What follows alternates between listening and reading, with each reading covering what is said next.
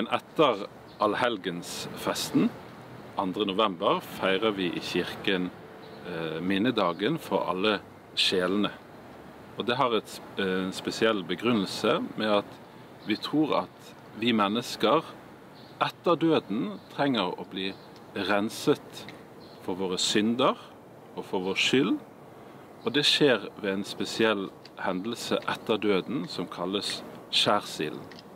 Vi kan si det på den måten at vi trenger å bli fylt av Guds kjærlighet, slik at vi kan elske like høyt som ham. Det er målet vårt som kristne, og det er sjelden vi oppnår det på jorden.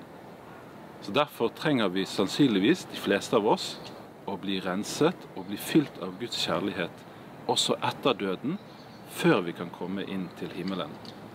Og Når vi da på Alle sjelers dag minnes alle våre kjære avdøde, så er det nettopp for å be for dem og vise dem vår kjærlighet. Og på den måten hjelpe til i det de går igjennom, ved å bli fylt med kjærlighet. Og vi også lærer av det når vi ber for dem, ber for de avdøde her på jorden. Og hva gjør vi da på Alle sjelers dag? Jo, vanligvis eh, kommer vi til kirken gjerne med lapper eh, med navnet på våre kjære avdøde på.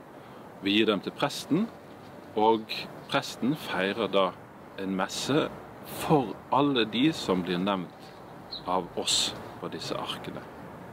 Og det er en sjelemesse hvor vi feirer messen, Jesu offer, for alle de avdøde. Og det er det viktigste vi gjør på Alle sjelers dag. Men mange av oss har også en tradisjon med å besøke gravene til våre kjære avdøde denne dagen. Så det er også en veldig viktig del av den eh, dagen.